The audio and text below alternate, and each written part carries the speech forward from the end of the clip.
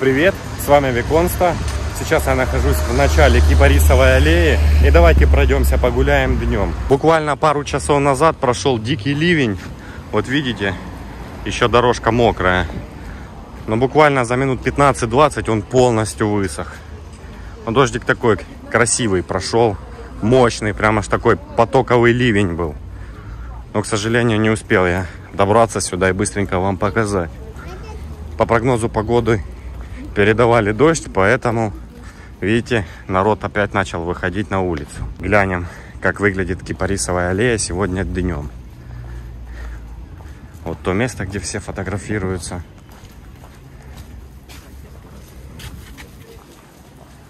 И здесь начинаются сувенирные лавки. Сумки, мед, крымская косметика, сладости Востока, приправы, пенза, вулканический камень, 100 рублей, пятки чистить.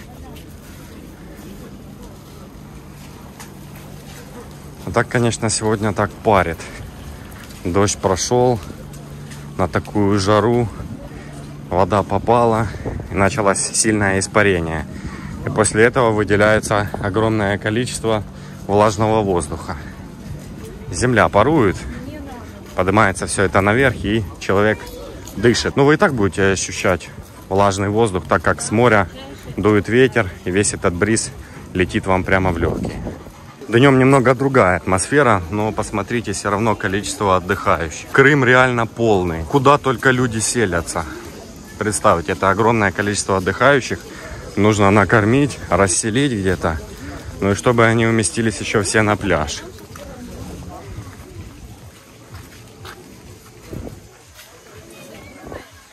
Крымские приправы.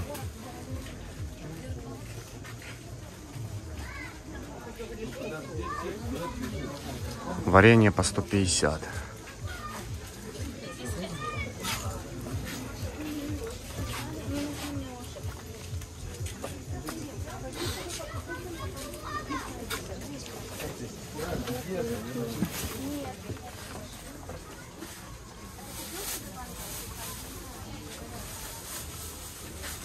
Специи из Крыма. Ну, кстати, можно засыпать будет и перемалывать все в мелкую фракцию. Хочется все показать.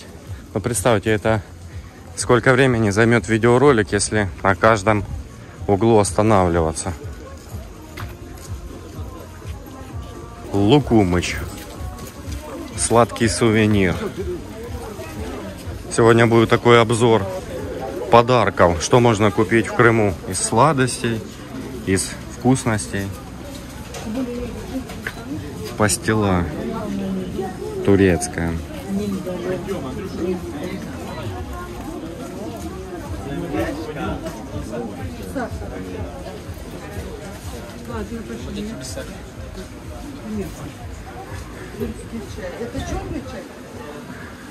Халва, чай, аромат южных гор. Ну и вот 1400. Представьте, это количество приправ сколько. Какие у вас блюда получаться будут вкусные. Соль, специи, огонь аджика.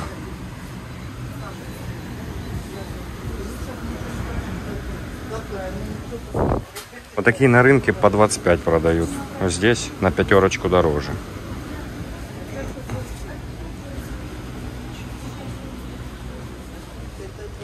Перец халапеньо. Правильно я назвал? Да. Фаршированный сыром. Вот это новости, вот это деликатес. Такого я даже не видел. Перец черри, фаршированный тунцом. Название халапеньо. Интересное такое.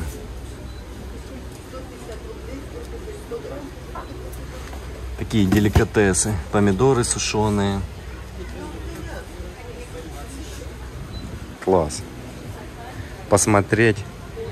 Конечно, очень дорого все стоит. Ну, хотя бы через камеру вы посмотрите, что здесь продается.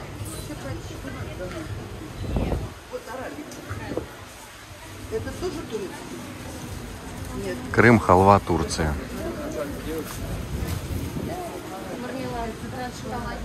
чай. Травяной чай, 100 рублей, такой пакет.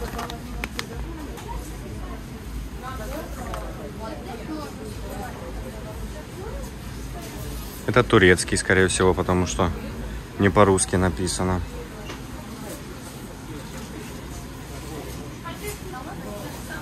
Эти ценники есть на каждом товаре. Вот это вот классно. Подошел человек, узнал, сколько что стоит и пошел дальше. А то, как начинаешь ходить, каждые три секунды спрашиваешь, почем то, почем то. Вот это большой плюс за это.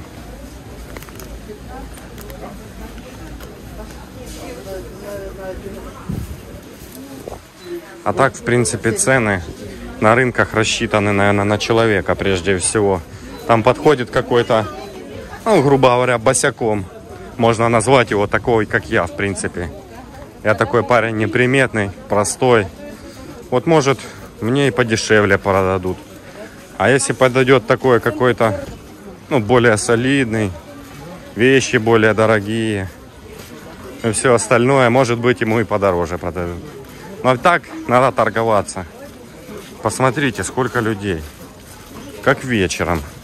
Все-таки немножко погодка наладилась, и народ пошел на море. Видите, основной поток идет в сторону моря.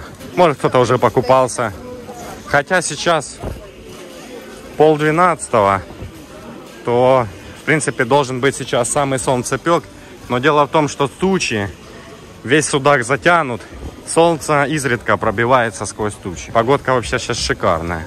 В принципе, хорошо загорать сейчас, не обгоришь. Вещи зимние продают. Но когда им еще продавать? Настоящие платки. Они тепло, хорошо очень держат. Особенно у кого есть проблемы с поясничным отделом. Ними хорошо закутываться, укрываться. Вот чтобы немножко согреть тело. Сейчас идем в сторону моря, пройдемся на пляж, посмотрим, сколько там отдыхающих сейчас находится, что они там делают, загорают, купаются. В общем, такой простой лайтовый видеоролик. Вместе со мной пройдетесь. Ну и, конечно, если вам не тяжело, напишите, пожалуйста, комментарий, как вам вообще Судак и отдых в Крыму. Поедете ли вы сюда? Нравятся ли вам такие города, такой отдых? С самого утра уже вот эти вот зверюшки веселят народ и публику. Представьте, в такую жару ходить в такой одежде. Выносливость должна хорошая быть. Сейчас выходим на набережную в Судаке. И будем отправляться в сторону горы Алчак-Кая. Пройдемся вдоль набережной. Вот уже и катер приплывает. Кстати, отсюда отправляются катера в сторону Нового Света. Также можно заказать здесь прогулку вокруг Крыма. Вы можете подходить просто к таким ларькам, где там будет написано «Морские прогулки». Либо покататься на банане. Давайте спустимся в сторону моря. Ну вот, что немаловажно, это душ. То есть можно после моря выйти и сполоснуть ноги. Ну и вот сам пляж. Мест нет. Реально, люди загорают стоя.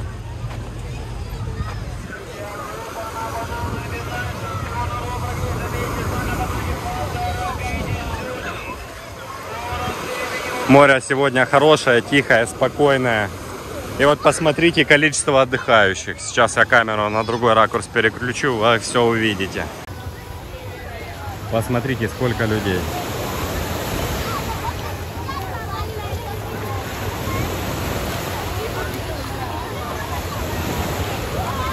Давайте прогуляемся туда, в самую толпу. Людей, конечно, хватает.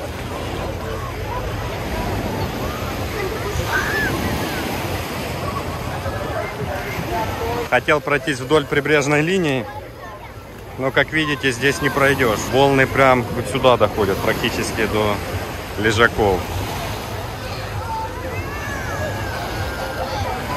Ну а здесь еще больше людей.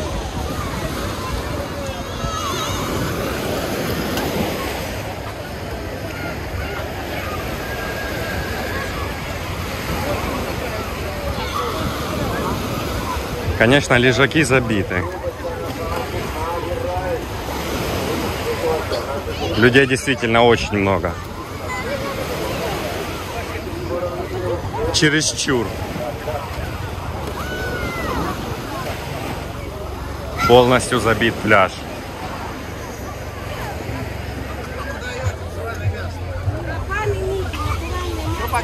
Полетел осматривать территорию. Посмотрите, сколько людей. Мест нет, все забито полностью. Я думаю, вы прекрасно понимаете сегодняшнюю атмосферу на набережной в Судаке.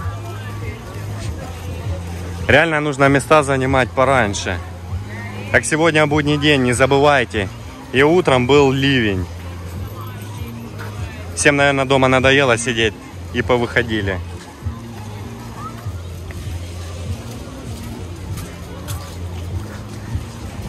На горе Алчак очень много людей сейчас, смотрю, находится. Плохо, что камера настолько не приближает. Теперь посмотрите вид с этой стороны. Так будет чуть получше видно всю набережную в Судаке.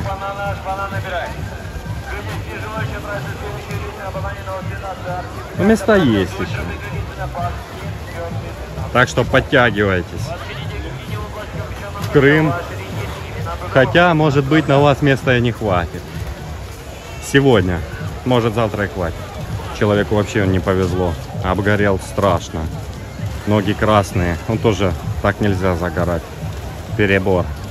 Знаете, раньше кефиром мазали, сметаной прохладненькой. Вот это вот где дело. А сейчас эти мази мажешься, но опять-таки помогает оно или нет, непонятно. Но лучше в самый солнцепек сидеть дома, не выходить на такую жару. Потому что солнышко печет очень сильно. И даже зонтики некоторые не раскладывают, не раздвигают шляпку, потому что ну, солнце не сильно припекает. Продолжаем наш путь. На горизонте у нас гора Алчак-Кая. И вот там чуть дальше мыс. Вот здесь, смотрите, пляж поменьше. Тут максимум 2-3 подстилки вот так вдоль можно положить. И навес есть. Но навес старенький. А так, конечно, рекомендую вам посетить Крым, так как здесь есть на что посмотреть. Набережная днем пустая. Все сейчас на море сидят, на пляже.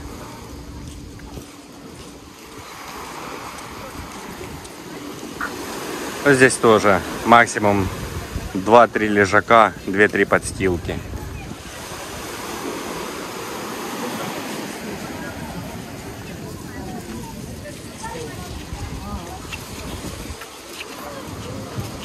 Что касается цен на жилье, то чем ближе к прибрежной линии, тем цена достигает до 3,5-4 тысяч рублей в сутки за номер. Если сюда чуть выше пройтись, то там я жилье снимаю за 1300. Можно, кстати, комнату за 800 снять рублей. То есть цены разнятся. Кто хочет, тот всегда найдет свое жилье. На каждый кошелек вы по-любому найдете ту середину, которая вам ближе по душе. Слышите? Цикады. Такой уникальный сверчок, который своими крыльями издает такие звуки. Особенно утром, вот когда никого нет, тишина, музыка нигде не играет. Слышно их очень хорошо. Ну, а желательно, конечно, отдыхать в диких местах. Вот туда, если пройти за мыс, то с другой стороны там есть такие камни, и там дикие пляжи, где можно спокойно перейти. Конечно, будут там люди, но не в таком количестве. Во-первых, не каждый туда пойдет, ну а во-вторых, эти места ну, отдаленные от набережной, и туда добираться не ближний свет. А так, конечно, звук волн завораживающий. Представьте, вот это море, бескрайние просторы. Ну, Черное море глубокое само по себе, поэтому и вода здесь почище. и посоленее, чем в Азовском море. Но мне кажется, в той стороне, со стороны Кипарисовой аллеи, все-таки людей побольше. Банан тут. Но отсюда отправляются на прогулку на банане.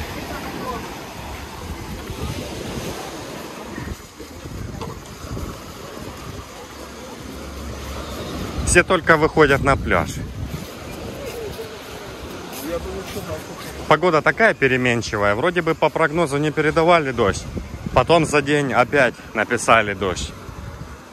Но в итоге дождь все-таки прошел, но не сильный. Хотя по прогнозу написано было дождливо весь день. И только к вечеру облака растянутся. Ну, как видите, облака растянулись немножко пораньше. Но оно и к лучшему. Качество видеоролика все же лучше становится тогда, когда есть хорошая освещенность. Потому что при наличии плохой освещенности будут появляться на видеороликах артефакты, и плюс YouTube урезает качество, поэтому смотреть вам будет немножко похуже, чем при солнечной ясной погоде. Но здесь народа побольше. Хотя по всему берегу Судака песок. В некоторых местах есть галька. Но она не крупная, но все же.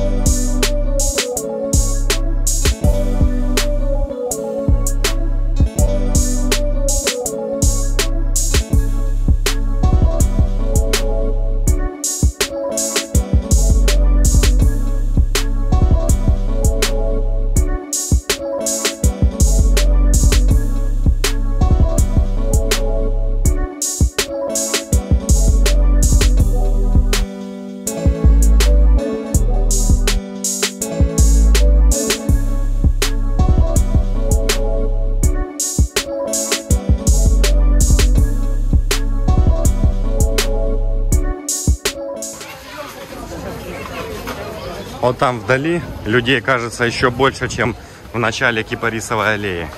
Но там чуть поближе подойдем, я вам более детально покажу.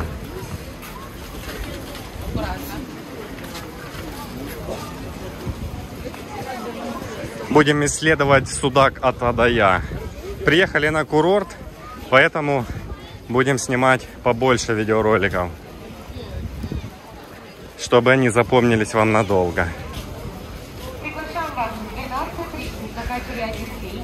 Совершить увлекательную полуторачасовую морскую прогулку-экскурсию вдоль счастливого С каждого утюга музыка играет. Здесь немножко побольше места. Не так клаустрофобия на вас влияет и давит. Особенно, когда идешь в замкнутом пространстве, но не знаю, как вы, мне это не нравится. Ну, куда деваться? Сделали большую площадь какую-то, где можно было просто идти спокойно, без толкания. Но так не получается. Видите, как на курорте обустроено? Вот здесь пляж, и буквально 100 метров ходьбы, грубо говоря, от моря. И тут можно покушать.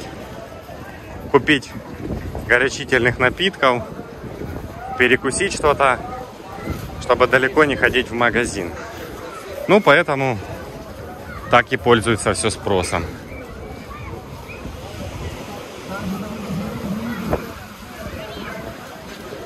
Посмотрите здесь, сколько людей.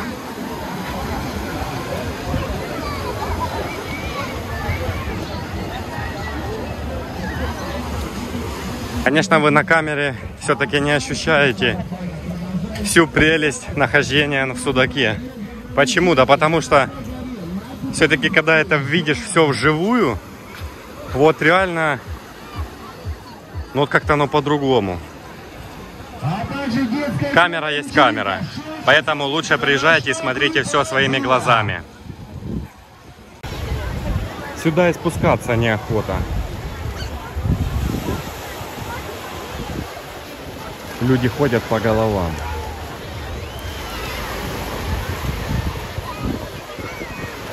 лежат битком.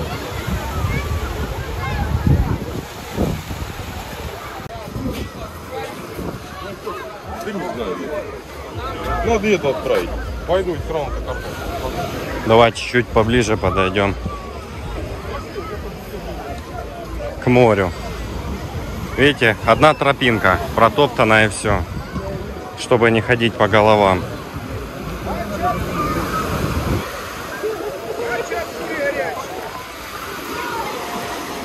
Здесь уже лодки на воду выходят. Ну и вот количество отдыхающих.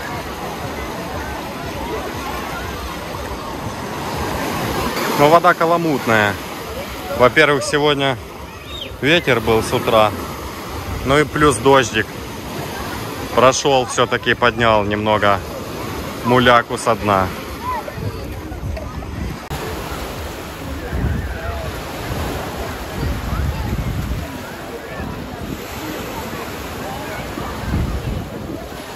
Подошли мы поближе к пляжу, который недалеко находится от мыса Алчак. И здесь, конечно, людей чуть поменьше, чем там. Дальше грот Эолова арфа. И вот туда, где народ идет, там находится мыс Алчак. В принципе, по этой дорожке можно пройтись. И мы как раз будем наблюдать судак. Ну, практически с высоты чайкиного полета. Смотрите, здесь есть две дороги. Первая это на Грот. И вторая это на мыс Алчак. Ну, давайте сначала пойдем на Грот. Эти все горы это окаменелые рифы. Когда-то давным-давно здесь были океаны. И вот образовались такие вот горы. Остатки каменистых пород. Сейчас мы наблюдаем. И вот такая тропа, по которой все поднимаются вверх. Почему Эолова арфа? Ну, потому что есть бог Эол, бог ветров, поэтому так назвали. При определенном потоке ветра ветер проходит сквозь эту дырку в камне, трещину, и вам будут слышаться разные звуковые сопровождения. Поэтому так и назвали. Там, конечно, красивые фотографии можно сделать. Подъем не из легких. Но куда нам деваться?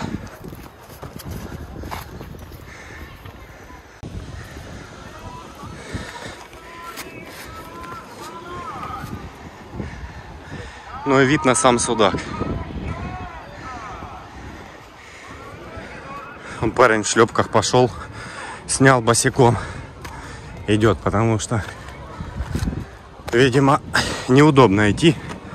Шлепки сползают. Ну и вот сам грот.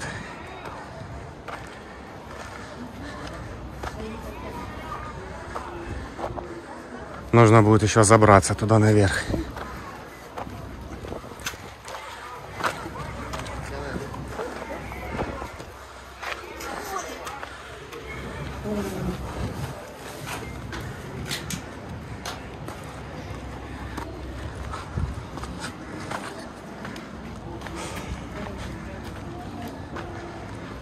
Сейчас чуть повыше поднимемся. Я с этого ракурса вам покажу совсем иную картину.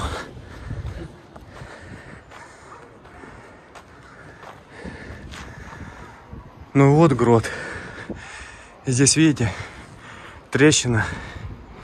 И рано или поздно это все должно ввалиться.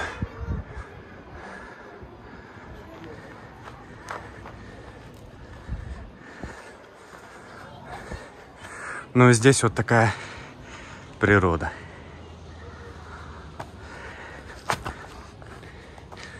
Вниз обрыв. И вот там люди купаются. Ветер гуляет здесь. Ну и отсюда открывается вид на судак. Вот такой грот. Сегодня я показал вам немного судака. Если вам понравилось это видео, не забывайте подписываться на канал, ставить лайки. Ну и, конечно, пишите комментарии. С вами на канале был Виконста. До новых встреч. Пока.